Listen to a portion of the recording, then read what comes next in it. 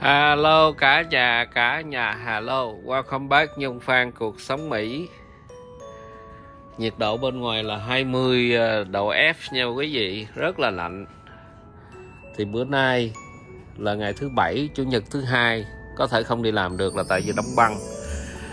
À, nhiệt độ nguyên tuần sau là 15 17 cho tới cao nhất là chỉ có hai mươi mấy thôi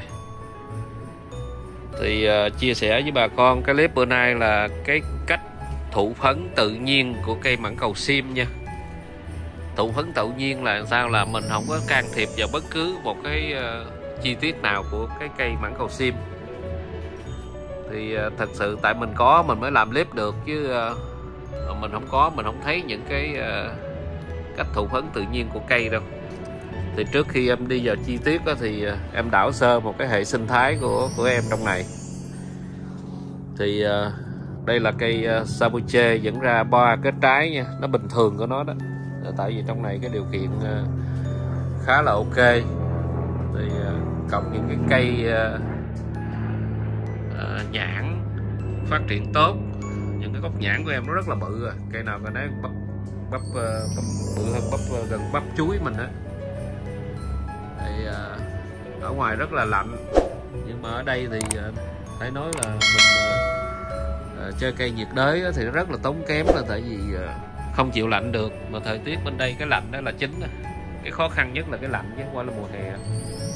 Nóng thì mình che mình tưới được. Còn hè thì dứt khoát phải có một biện pháp nào nữa không là cây nó sẽ giả từ gác trọ.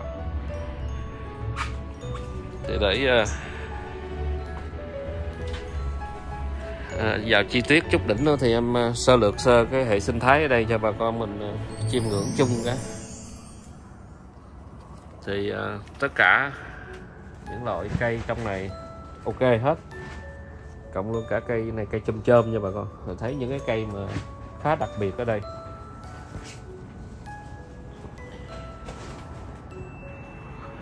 Đó, hồi nãy em nói là những gốc mà những gốc nhãn mà em có nó khá khá là bự. Đây nè. Bự à. bự cầm không hết à. Đây là mận hồng sóc trăng nha. Em có đầy đủ hết á. Bà con có cần những cây giống mà đặc biệt thì liên lạc. Mận hồng sóc trăng, mận an phước. Bưởi da xanh, ruột đỏ bến tre. Thì à,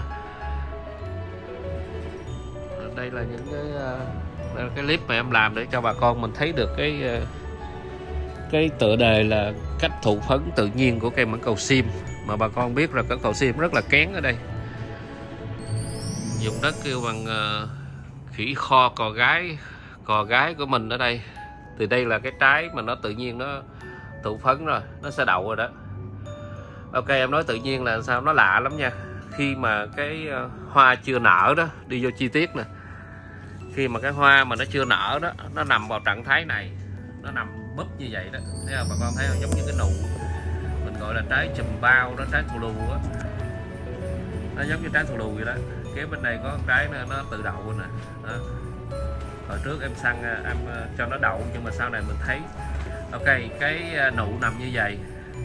Khi mà nó vừa nở ra đó thì nó nở vào ban đêm buổi tối á còn này là cái hoa non hoa non thì nó như vậy. Đó, hoa non thì nó như vậy. Nụ non nè. Đó này là nụ non. Thì khi nó ra đó nó sẽ rớt những cái ờ, cái cành cái bao bao ngoài nè đó. Bà con mình thấy nó rớt không? Thì nó sẽ chừa lại một cái. Ok nó chừa lại một cái ờ, cái nón đó mình gọi cái nôm na cái muỗng đi. Đó, cái muỗng nó chừa là cái muỗng nó múc em chiếu gần mà con thấy. Đó nó mút là chi? Nó hứng lại những cái nhụy mà để cho nó thụ phấn vô ngay chỗ cái đen này nè. Đó những cái nhụy đây nè. Thì rất là tuyệt thỉnh thoảng nó rụng hết thỉnh thoảng nó rụng hoặc dài một cái ờ, muỗng dính đợi để cho cái nhụy nó dính vô đó rồi thời gian gió nó sẽ tự thụ phấn đó. Ở đây là cái cây ờ, mãng cầu sim tự nhiên đó nha bà con. Chứ ờ, chứ nó lạ lắm nó rất là kén nó nằm, nó búp ngay đó, là khi nào mà nhụy nó sẵn sàng là nó mới rụng cái ờ, bao ở ngoài. Đây nè này là cái bao ngoài này. Nó rụng nó dính lên cây cái bao này là chỉ có bảo vệ cái nhụy ở trong thôi. Đó. Khi nó rụng nó còn lại một cái để nó móc lại, nó túm lại cái nhị đó, bà con thấy không? Nó túm lại cái nhị đi. Thì cái nhị này không sớm thì muộn, nó sẽ đụng ngay cái ờ, cái cuốn ngay chính giữa nè, cái đen này nè. Thì đó là lúc nó thụ phấn đó thì ờ, nhờ tới ờ, gió hoặc là côn trùng hay là tự nhiên nó sẽ tự thụ phấn được tại vì nó nằm dưới đây khoảng một thời gian rất là lâu. Mà thụ phấn thì chỉ cần những cái ờ, cái nhụy rất là nhẹ. Nó dính giống như là sáp vậy đó. Rồi nó dính vô thôi. Thì nếu ai mà có cây mảng cầu sim đó mình nhìn mình sẽ thấy nó tùy theo giai đoạn. Rồi, đó là cái cách thụ phấn tự nhiên mà em muốn chia sẻ cho bà con mình thấy được cái ờ, đúng bên đây cũng vậy nó cũng có nụ nụ nhiều lắm. Cây măng cầu sim khi nó đủ sức thì nó ra trái rất là nhiều nụ, nụ. Nhưng mà cái khó khăn là nó đậu vài trái chứ nó không đậu nhiều cho mình. Nó không giống như ờ, mảng cầu na mà mình thụ phấn ờ, một trăm phần trăm hết.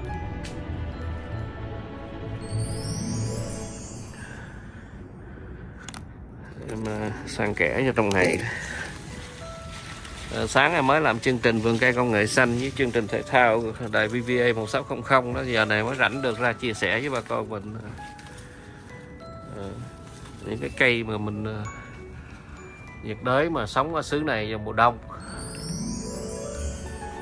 Rất là hoa nhiều. Đây là hai bà nụ luôn.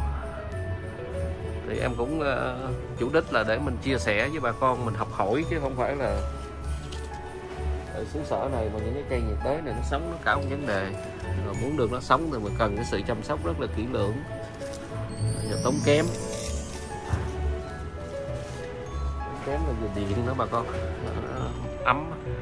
Ở đây là cây ờ, mây mà tái lủng lẳng ok, thì em đạo sơn cái thì bà con mình cũng thấy là cái hệ sinh thái rất ok trong này.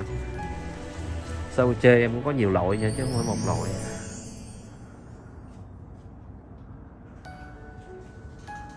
Cây tái nó vẫn còn đây ok.